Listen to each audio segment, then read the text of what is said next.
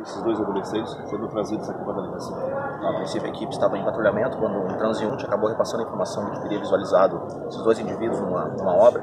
Eles estariam realizando tráfico durante todo o dia e, inclusive, esse, esse transeunte que acabou repassando essas informações, ele falou que ele visualizou inúmeros indivíduos entrando e saindo desse local.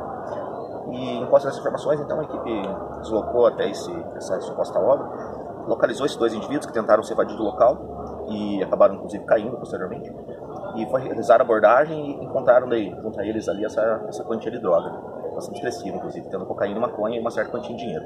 Diante dos fatos, então, foi dado voz de prisão a eles e encaminhado aqui à Delegacia Polícia Civil pelo crime de tráfico de droga. Ele